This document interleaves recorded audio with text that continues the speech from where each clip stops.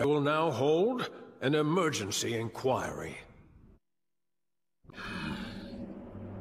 Tell me, lad, who was it that created this world? Some big shot? It was God who created this world for us. You are a bug in a perfect system, and bugs must be swiftly dealt with. What's the candle for? I'm tasking you with lighting it. Without touching it, of course. Now's your chance to prove it. Not even a little? That's right. This is absurd. Magic is everything in this world. So, you need to display for us a miracle stronger than magic. How can someone with no magic even hope to light that without touching it? He can't possibly do anything. Really? How cruel of you, Sir Ryoh. Asking for the impossibles, huh?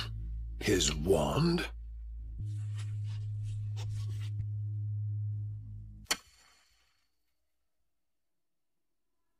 Huh?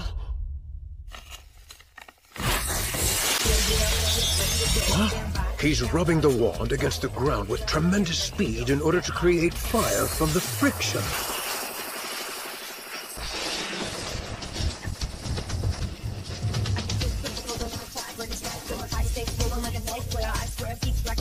I get it. If I'm gonna change the world's views, then I'll do it with my fist. You are hot stuff, you know that?